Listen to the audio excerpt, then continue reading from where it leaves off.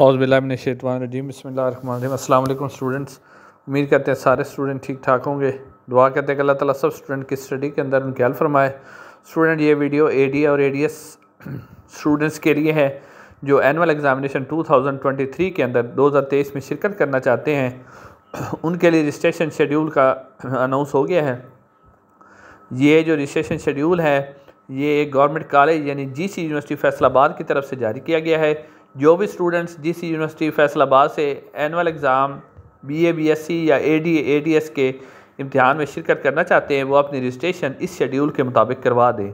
इसलिए स्टूडेंट्स है, इस रजिस्ट्रेशन का जो शेड्यूल है सिंगल फ़ीस जो रजिस्ट्रेशन है, वो पच्चीस, दस से स्टार्ट होके सत्रह नवंबर 2022 तक होगी।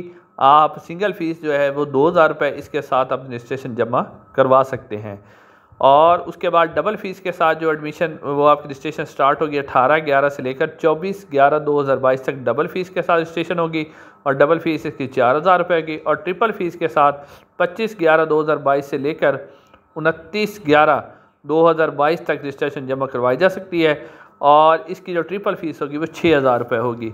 तो स्टूडेंट जो भी ए डी और ए डी एस करना चाहते हैं जी सी यूनिवर्सिटी फैसलाबाद से प्राइवेट स्टूडेंट्स के तौर पर वो अपनी रजिस्ट्रेशन जो है वो करवा सकते हैं। रजिस्ट्रेशन का शेड्यूल जारी कर दिया गया है। इसके मुताबिक आप लोग जो है वो एडमिशन करवा सकते हैं। तो ये रजिस्ट्रेशन शेड्यूल है। उसके बाद एडमिशन शेड्यूल है। का सबसे पहले रजिस्ट्रेशन है, जो भी स्टूडेंट रजिस्ट्रेशन करवाना चाहते हैं, वो करवा लें।